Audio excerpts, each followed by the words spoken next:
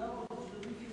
Interessante incontro con Rita Borsellino a Gioiosa Marea il 4 novembre 2011. Promotore dell'incontro Teodoro Lamonica di Un'altra storia e si è parlato di comunità europea, mondo agricolo siciliano e sterpaglie negli antichi locali del Circolo Roma di Gioiosa Marea.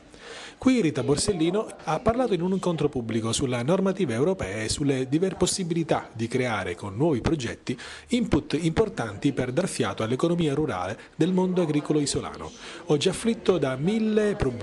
non ultimo quello legato al divieto di bruciare i residui vegetali agricoli. L'incontro a Gioiosa Marea ha offerto diverse soluzioni che la stessa Borsellino ha già elaborato in un progetto dal taglio europeo.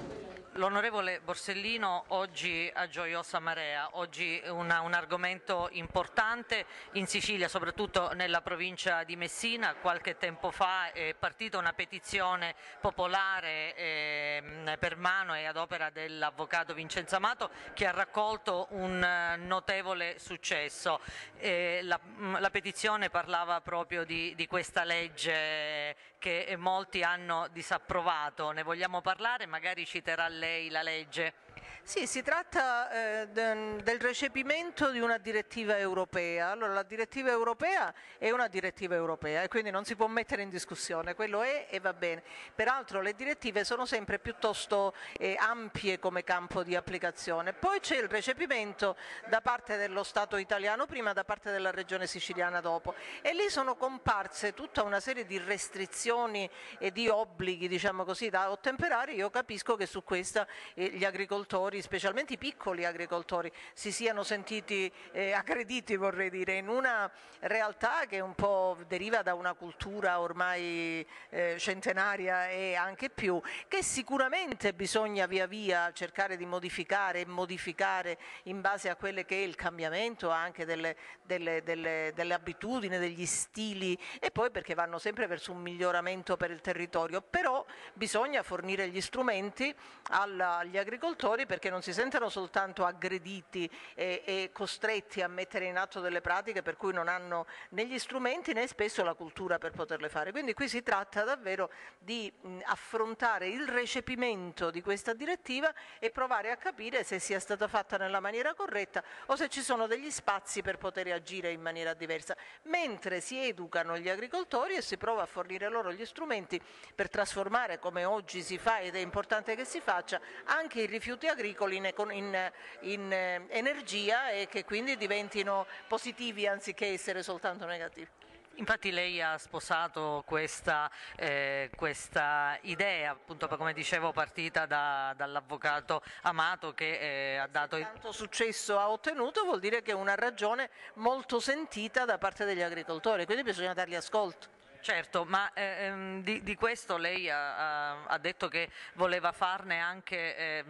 creare un, un input per, per, poter far sì che magari nel mondo agricolo questo potesse invece essere, eh, di, di, diventare fruttuoso. Diventare fonte di economia, perché mentre mi impegno a fare un'interrogazione al Parlamento europeo per vedere alla Commissione europea per vedere se effettivamente il recepimento che è stato fatto di questa direttiva è corretto, se ci sono delle cose cose che possono essere eh, modificate proprio a livello di recepimento, bisogna però guardare ormai come si guarda e si deve guardare al rifiuto come qualcosa che può e deve creare economia addirittura, creare ehm, ricchezza perché nella trasformazione dei rifiuti si può trovare fonte di ricchezza e di economia in maniera che anche i giovani anziché allontanarsi dalle campagne la vedano come una prospettiva di futuro e di sviluppo.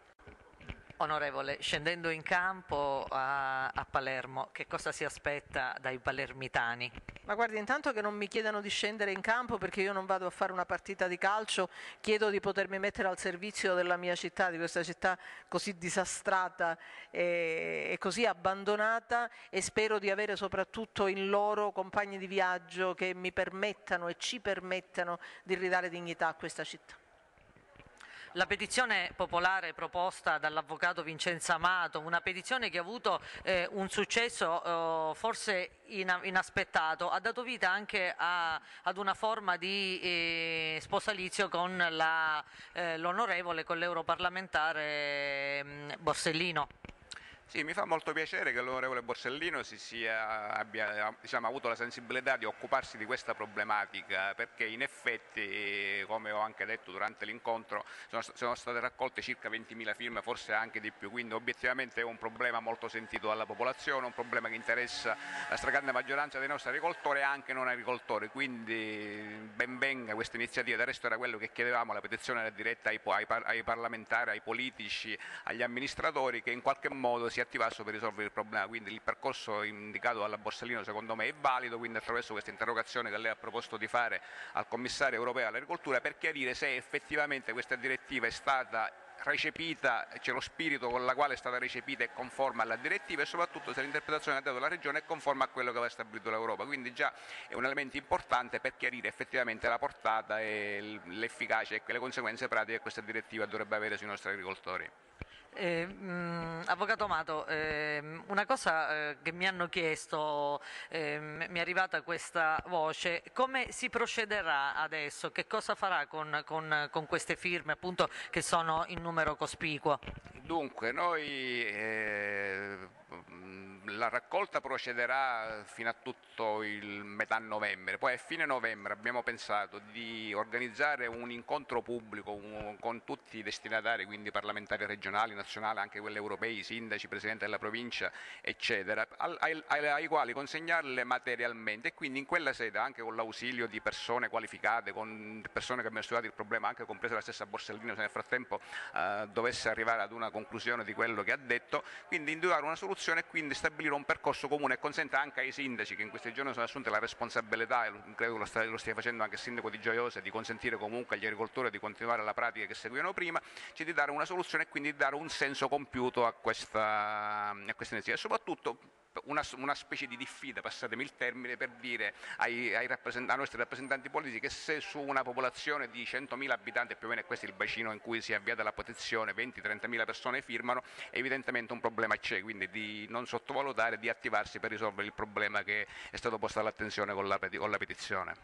La sede di questo incontro eh, presumo sarà Gioiosa Marea? Eh, diciamo, è nata da qui, ecco, per cui è il minimo questo, quantomeno che ci riconoscano diciamo, la paternità di questa, eh, diciamo, cioè, no, no, non per voler mettere il cappello sopra, ma comunque è stata sollevata una questione che sicuramente ha la sua importanza e quindi che a Gioiosa Marea sicuramente ha dato la possibilità di poter esprimere, di potersi esprimere ed essere protagonista su una questione importante. Teodoro La Monica vicino all'onorevole Borsellino, infatti è stato lui che ha proposto questo incontro con una motivazione molto importante. Sì, noi, io ho segnalato subito appena è venuto fuori questo problema a Rita perché ritenevo giusto che il Parlamento europeo se ne occupasse di questa materia, perché quando si fanno le leggi poi bisogna studiare anche le ricadute. Io credo che sia inaccettabile una legge di questo tipo e noi vogliamo capire con l'interrogazione che propone Rita se il recepimento italiano è stato fatto correttamente quello siciliano rispetto alla direttiva che è stata fatta in Europa. Quindi avremo da qui anche una risposta. Sicuramente non si possono lasciare i singoli contadini, singole, le singole persone, perché qui abbiamo realtà piccole piccolissime nel nostro territorio che magari ognuno lavora in proprio, pulisce il terreno e poi resta con l'erba diciamo, tagliata nel campo. Questo non produce sicuramente meno incendi, probabilmente potrebbe più incendi perché l'erba secca e tagliata che resta sul campo produce ancora maggiore diciamo, possibilità di incendi. Poi certo, noi ci eh, lavoriamo da anni diciamo, col gruppo di Rita Borsellino, l'associazione Altra Storia, con i cantieri dove studi e approfondisci i problemi, faremo un'iniziativa da qui a qualche mese dove spiegheremo anche come eh, molti rifiuti, compresi quelli che noi paghiamo oggi salatamente con le bollette che, più, eh, che aumentano sempre di più e non diminuiscono, come potrebbero diventare una risorsa, che è la cosa su cui dobbiamo scommettere come hanno scommesso altri stati europei dove addirittura ci sono paesi che non pagano più neanche la bolletta. Ma in Italia andiamo lontano, a Brescia c'è un, uh, una struttura costruita da anni che dà l'acqua calda ai cittadini a molti quartieri di Brescia, quindi diciamo si possono produrre ricchezza da queste cose e credo che questo deve essere il modo di affrontarlo, perché penso che la politica, e questo è il problema vero, la politica torni a fare e ad affrontare i problemi della gente, non torni a pensare alle cose piccole o a pensare a piccoli gruppi, bisogna pensare alla quantità dei cittadini e alla popolazione nel suo insieme.